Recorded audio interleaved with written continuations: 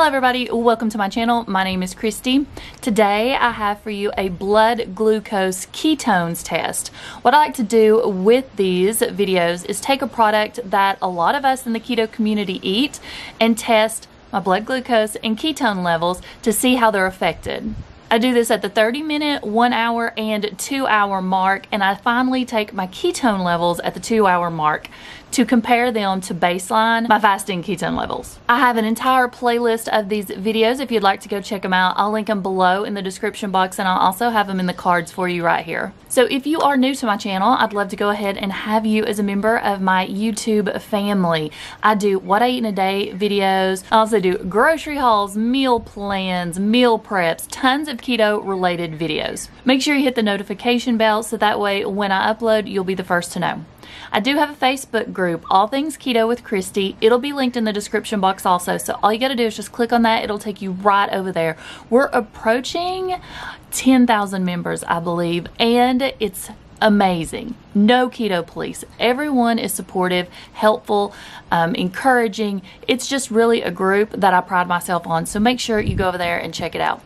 If you don't follow me on Instagram, I post over there daily in my stories. So right here will be my name. Make sure you go over there and follow me too. Really quickly though, if you're watching this video May 18th through the 22nd, I wanted to let you know about Perfect Keto's deal that they have. They have launched a new snack box and you have three different varieties to choose from. Inside the snack box, you will get two nut butters, a box of their new cookies, and also a box of their Perfect Keto bars, which I adore. This box is put together and already discounted at 25% off, making it $68.98. So if you want to check it out, I'll have that all down below. Now, let's talk about the product we're testing today.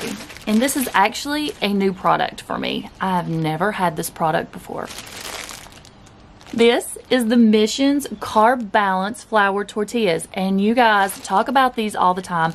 Many people that do lazy or dirty keto eat these. I'd say probably not clean keto, but us in the dirty keto community consume tortilla shells. If you're part of the community that doesn't, I completely understand, but this may not be a video for you. I picked these up at Sam's, but I know they have these at Walmart, grocery stores, tons of places that you can find the low carb tortilla wraps.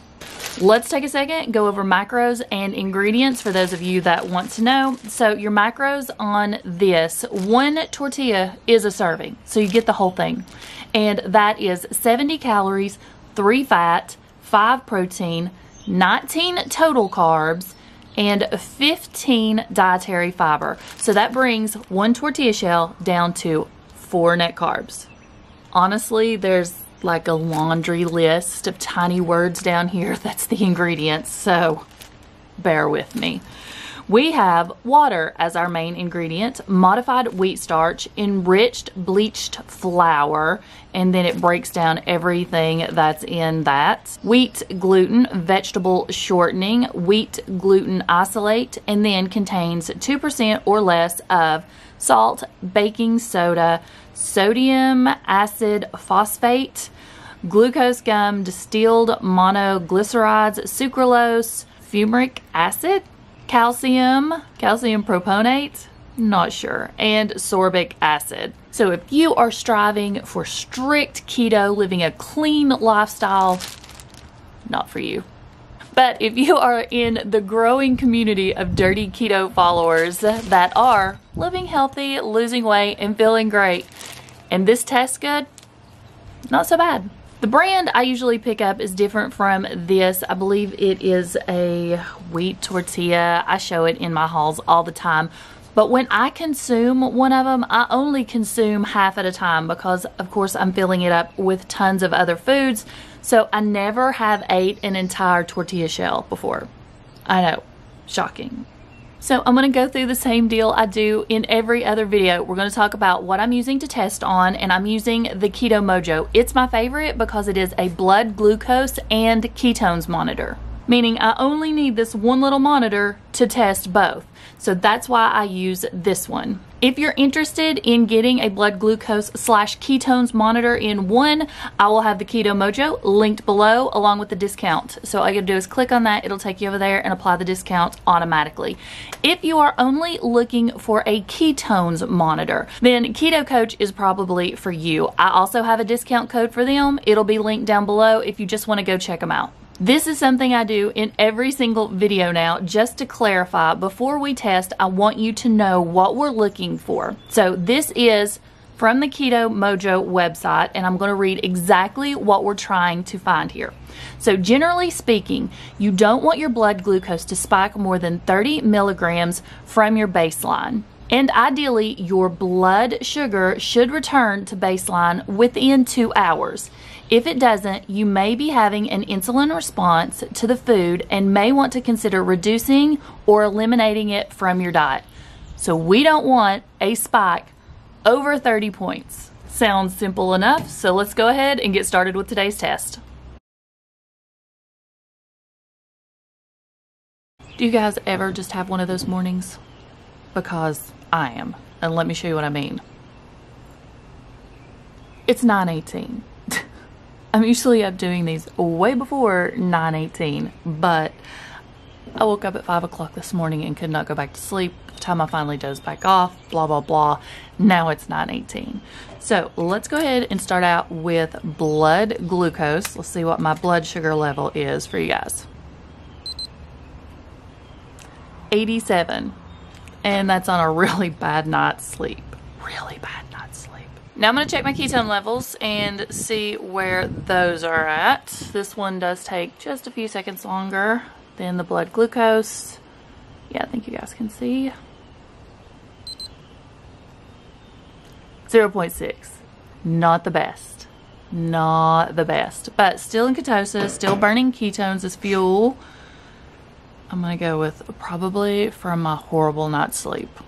I'm sure we already went over this in the beginning, but we are testing the missions carb balance, which means they're carb friendly, which means they're keto, right? Flour tortillas. Oh, there's so many things here that are going to trigger some of the people that watch these videos. Here's what it looks like, and I'm eating nothing with it. That's right. I want this to be a test only on this tortilla shell, not the ingredients that I'm putting in it, not the other stuff I'm putting in my body. I want this to be a test only on this tortilla.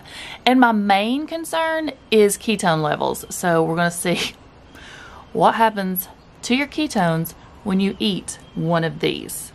This is going to be fun. This would be much better if I had this as a breakfast burrito right now instead of just this.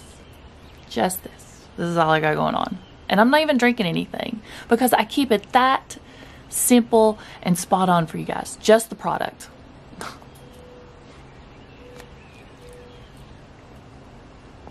okay, let's talk about this is actually the first time I've ever had the carb balance uh, missions tortillas. I usually get a different brand that I pick up. You can see how far I am into this, about a third of the way. I'm not sure how I feel about these. Just like this, not so great. They have this weird taste to them. But I'm sure once you load these up with bacon and eggs and cheese and all that good stuff, you're not even going to taste the tortilla shell. It's just, you know, the wrap that gets the rest of it into your body. Or if you make tacos or, you know, lunch sandwiches with meat, cheese, mayo, all that good stuff. But have you guys ever just tasted one of these alone? If not, do it. Just taste one of these alone and see if you get that same weird taste going on in your mouth. I feel like this is taking forever. Last bite. Okay, I finished up at 9.30 and honestly, that was brutal. Brutal. I do not suggest eating one of those alone. Okay, I will see you back in 30 minutes, so that will be 10 o'clock to take our first test. I'm usually ready by now, but guys, not feeling it this morning. There you go. It's 10 o'clock, so it's been exactly 30 minutes. Let's see where we stand. And of course now the wind's going to start blowing. Oh, not bad, 93. Then again, I didn't think that there would be a huge blood glucose spike. What I'm worried about most is ketone levels. That's what's got me thinking this may not be good. This may knock me out of ketosis. But 93 after 30 minutes, not too shabby. I'll see you back in 30 minutes for the one hour check and that'll be 1030. Okay, I did manage to get ready. We are at 10.30. It is exactly one hour into this test and we're gonna do blood glucose again. Are we ready? I don't expect a significant change, but we'll see. Of course, the wind's gonna start blowing. There we go. Still exactly the same at 93. Like I said, I didn't expect anything significant because there wasn't that initial 30 minute spike right in the beginning. So I thought it would either hover around the same or start to go down. I'll see you at the two hour mark and that's when we're going to check the most important thing, my ketone levels to see if it knocked me out of ketosis. Let's see what time it is. I think I'm a few seconds early. Literally, it's 11:29. So I'm just a few seconds early because I'm ready to eat, people. I'm starving. I'm going to start out with blood glucose, and this is at the two-hour mark now. Let's see. What? What? Why are we going up, Kristi? What? That makes absolutely no sense. That now at the two-hour mark I'm up to 102. Okay, I don't even know what to think. At two hours, I'm supposed to be returning to baseline, not continuing to go up. I'm gonna go ahead and say it. I'm not feeling good about the ketone test at all. Not feeling good. I have a bad, bad feeling because let's just see where it's at. It's starting to rain.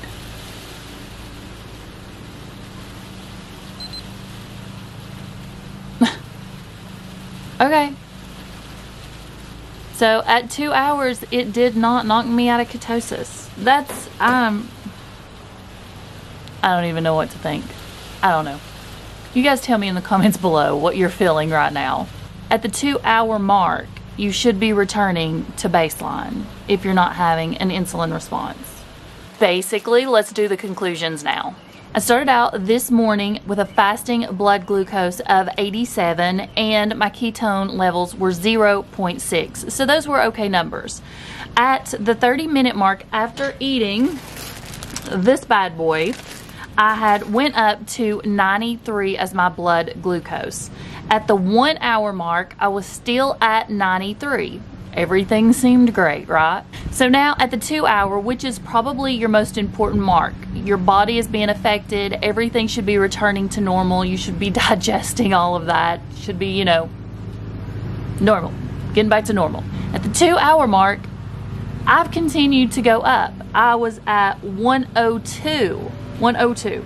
Now, granted, that is only 15 points up from my initial baseline or fasting blood glucose level.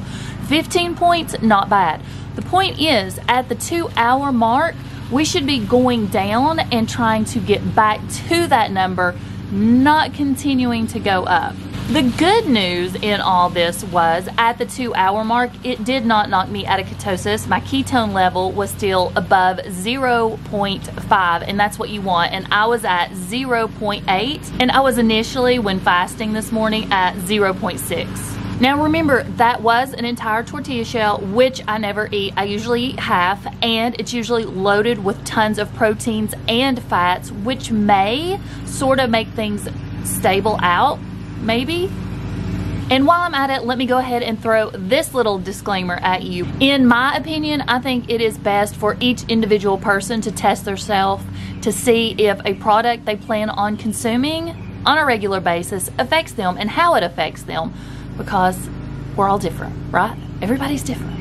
Okay, here's what I think about these. I will continue to eat them, but not on a regular basis. These will be something that I have Probably few and far between, but I already was doing that anyways. Probably only half a tortilla shell every week and a half, two weeks. They honestly just aren't one of my go-to foods. Like I said, definitely dirty keto, but do what's right for you. Okay, that is all I have for today's video. I'm excited to see your all's comments and reactions and tell me what you think about this test. Put it down below for me so you know I read every one of them and I'll get back to you. I'll see you in the next video and if you have a suggestion of what you would like for me to test in the next video, go ahead and let me know. Bye guys.